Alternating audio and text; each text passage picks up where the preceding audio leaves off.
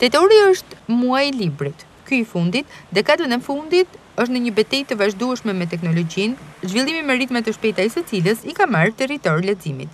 Dëshira për të lexuar është zvenitur, veçanërisht te të rinjtë, që megjithëse e vlerësojnë dijen dhe i japin rëndësi librave, në fund rizgjedhin celularin.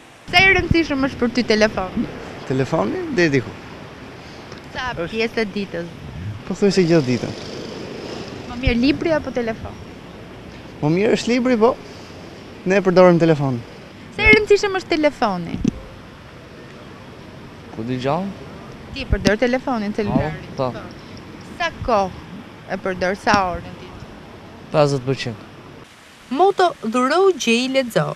Megjithëse tingëllon këndshëm, nuk ka gjetur hapësirë të mjaftueshme te të rinjtë në qytetin bregdetar. Kjo periudhë përkon me vitin mësimor, por për shumicën prej tyre, as të qenit nxënës nuk është një kriter i domosdoshëm për të lexuar.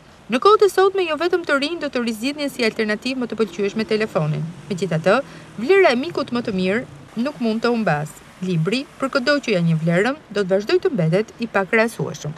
Kemi pas Edmond Tupja. Ka kohë që e ke lexu? Po.